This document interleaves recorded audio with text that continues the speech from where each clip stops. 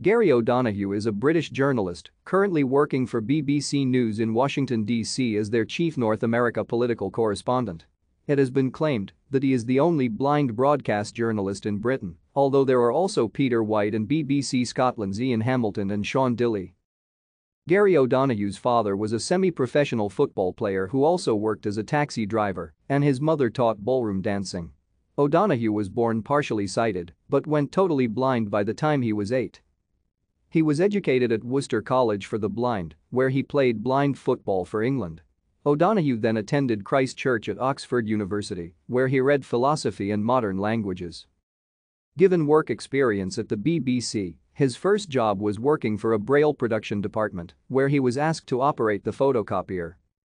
O'Donoghue joined the BBC on graduation, becoming a junior reporter on BBC Radio 4's Today programme. At one time, he was asked to bungee jump off Chelsea Bridge.